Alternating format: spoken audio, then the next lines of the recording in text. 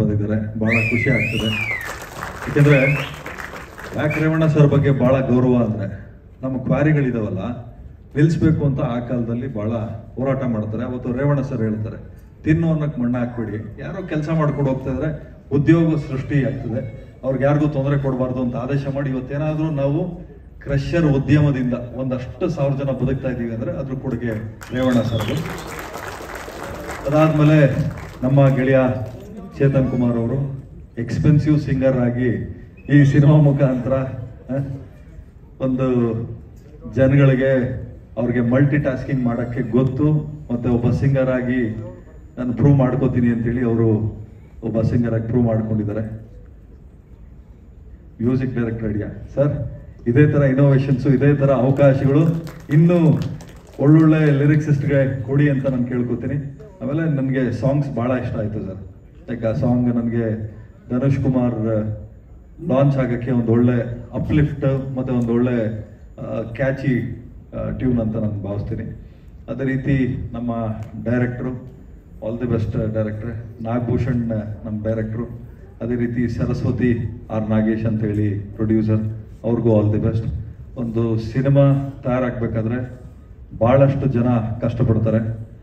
ರೈತರುಗಳು ಬೆಳೆಯುವಂಥ ಅನ್ನ ಕೂಡ ಪ್ರತಿದಿನ ಒಂದು ಸೆಟ್ ಅಲ್ಲಿ ಕಡಿಮೆ ಅಂದ್ರೆ ಒಂದು ನೂರಿಂದ ನೂರೈವತ್ತು ಜನ, ಚಿಕ್ಕ ಸಿನಿಮಾ ಅಂದರೆ, ದೊಡ್ಡ ಸಿನಿಮಾ ಅಂದ್ರೆ ಸುಮಾರು ಒಂದು ಮುನ್ನೂರಿಂದ ನಾನೂರು ಜನ ಅನ್ನ ತಿಂತಾರೆ. ಅದು ಒಂದು ಹೊತ್ತಿಗೆ ಸುಮಾರು ನಾಲ್ಕು ಹೊತ್ತು ಅಂತ ನಾವು ಲೆಕ್ಕ ಹಾಕೊಂಡ್ರು, ಸುಮಾರು ಒಂದು ಸಾವಿರದಿಂದ ಸಾವಿರದ ಇನ್ನೂರು ಜನಕ್ಕೆ ಒಂದು ಸಿನಿಮಾ ಊಟ ಹಾಕುತ್ತೆ ಅಂದರೆ ಅರ್ಥ ಮಾಡ್ಕೊಳ್ಳಿ. ಸಿನಿಮಾ ಶೋಕಿ ಅಲ್ಲ, ಸಿನಿಮಾ ಒಂದು ಉದ್ಯಮ, ಸಿನಿಮಾ ಒಂದು ಫ್ಯಾಕ್ಟ್ರಿ. ಯಾಕೆಂದ್ರೆ ಆವಾಗಲೇ ಮೇಡಮ್ ಹೇಳ್ತಾ ಇದ್ರು ಮಾಡಿರೋ ಸಿನಿಮಾಲ ಹಿಟ್ ಹಿಟ್ಟಾಯ್ತು ಅಂತ. ಯಾಕೆ ಹಿಟ್ಟಾಯ್ತು ಅಂದ್ರೆ ನಾವು ತಿನ್ನೋ ಜಾಗನ ಅಥವಾ ತಿನ್ನೋ ತಟ್ಟೆನ ಎಷ್ಟು ಕ್ಲೀನಾಗಿ ಇಡ್ತೀವಿ. ವ್ಯಾಪಾರ ಮಾಡೋ ಜಾಗನ ಅಷ್ಟೇ ಕ್ಲೀನಾಗಿ ಇಟ್ಟರೆ ಖಂಡಿತವಾಗ್ಲೂ ಗೆಲುವು ನಮ್ಗೆ ಇದ್ದೇ ಇರ್ತದೆ ಎಫರ್ಟ್ಸ್ ಇರಬೇಕಾಗ್ತದೆ. ಎಲ್ಲದಕ್ಕಿಂತ ಮುಖ್ಯವಾಗಿ ಕೃತಜ್ಞತೆ. ಯಾರಲ್ಲಿ ಕೃತಜ್ಞತೆ ಇರ್ತದೆ? ಅವ್ರಿಗೆ ಗೆಲುವು ಕಟ್ಟಿಟ್ಟ ಬುದ್ಧಿ. ನಮ್ಮ ತಂದೆ ಏನು ಪ್ರೊಡ್ಯೂಸರ್ ಅಲ್ಲ ನಮ್ಮ ತಂದೆ ರಾಜಕಾರಣಿ ಅಲ್ಲ ನಮ್ಮ ತಂದೆ ಯಾವುದೇ ಒಂದು ಪೊಲಿಟಿಕಲ್ ಆಕ್ಟಿವಿಸ್ಟ್ ಆಕ್ಟಿವಿಟೀಸ್ ಅಲ್ಲಿ ಇರಲಿಲ್ಲ.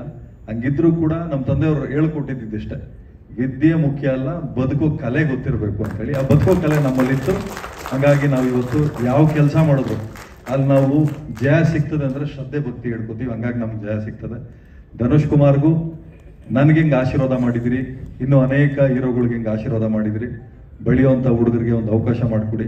ಯಾಕಂದ್ರೆ ಬೇರೆ ದೇಶದಿಂದ ಬಂದು ನಮ್ಮಲ್ಲಿ ನಾನು ಭಾರತೀಯ ಅಂತ ಹೆಮ್ಮೆಯಿಂದ ಹೇಳ್ಕೊತಾರೆ.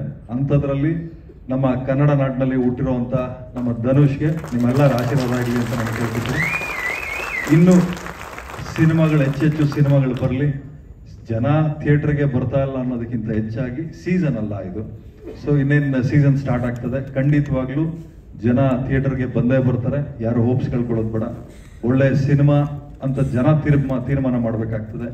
ಯಾರೋ ಗಾಂಧಿನಗರದಲ್ಲಿ ಒಂದು ನಾಲ್ಕು ಜನ ತೀರ್ಮಾನ ಮಾಡೋದಲ್ಲ. ಜನ ತೀರ್ಮಾನ ಮಾಡ್ತಾರೆ. ನಿಮ್ಮ ಎಫರ್ಟ್ಸ್ ಇರಲಿ.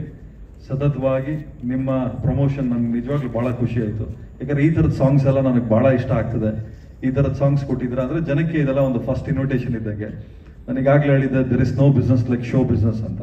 ಸೊ ಈ ಸಾಂಗ್ ಒಂಥರ ಶೋ ಸ್ಟಾಪರ್ ಆಗಿ ನಿಲ್ತದೆ ಅಂತ ನಾನು ಅನ್ಕೊಂಡಿದ್ದೀನಿ. All the best team yes thank you so much sir thank you ದಯವಿಟ್ಟು ಕೂತ್ಕೊಳ್ಳಿ. ಚೇತನ್ ಸರ್, ವೇದಿಕೆ